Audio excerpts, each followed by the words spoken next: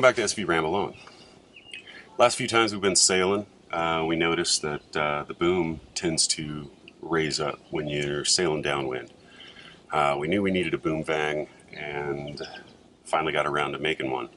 I had had the, all this spliced up and the strop for this ring here, the top ring, was wrapped around double around the boom.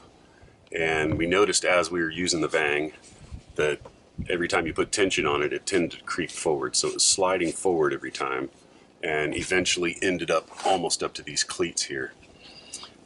I shortened the strop and went back to this boom bale here. I'm not sure if it's the ideal angle. I don't know, it's something like a 30 degree angle, I think is what they recommend, somewhere between 30 and 45 degrees. This is a little bit more, a little bit steeper than 30, 30 degrees based on the height of the boom to the gooseneck and the length out from the mast.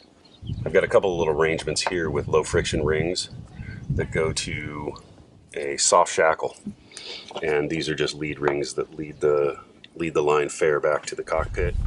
When I had the headliner down to install the main sheet tailing winch, the new winch we uh, just installed, I also made a little G10 block for this cam cleat. So when you pull on the vang, right now the vang is slack, you pull on it, set it down, lock it in place, and it really puts a lot of pressure on the boom. With the number of falls I got there, the block, uh, cascading vang runs six to one, I think, six to one purchase. So pretty good mechanical advantage. And in order to operate correctly inside the, uh, the cam cleat, I had to splice some double braid to the Spectra. And that's the Spectra to double braid splice you see up there. So after a couple of times out on the water, uh, working the boom vang, I've come up with my third iteration of an attachment point. After a little trial and error, uh, I'm finally going to cut another hole in our boom and I should have done this when we had the boom off and it's a lot trickier when it's on the boat. So what I did was make a pattern for the boom bale and then that thing's gonna go get fed up inside and then riveted into the boom just like this one. Now I just need to drill some holes and cut some holes in the boom. I already pulled back the reef lines and installed some chaser lines in their place. That way metal shavings don't get uh, snagged up in your uh, reefing lines. Using the Dremel, I went through a couple of different bits. I tried this thing, it clogged up. I tried this thing, it clogged up. It's just a joke.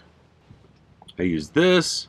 This is pretty much what I always use on aluminum, except you got to take the pliers and spin it backwards and clean out the aluminum grit. I use this thing, which is uh, Dremel 454. This thing is like a big block Chevy engine. It chews up metal like crazy. I just need to drill a couple more holes and install it.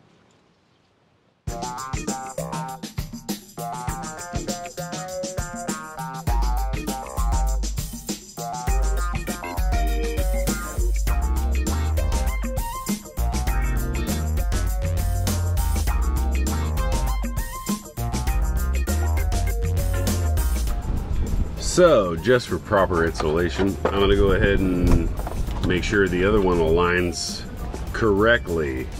So, I'm to go ahead and coat this rivet.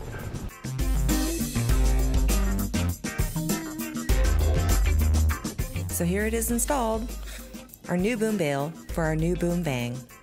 Thanks for watching. If you like this video, give it a thumbs up. You can also subscribe and check us out on Facebook, Instagram, and our website at SV Ramble On.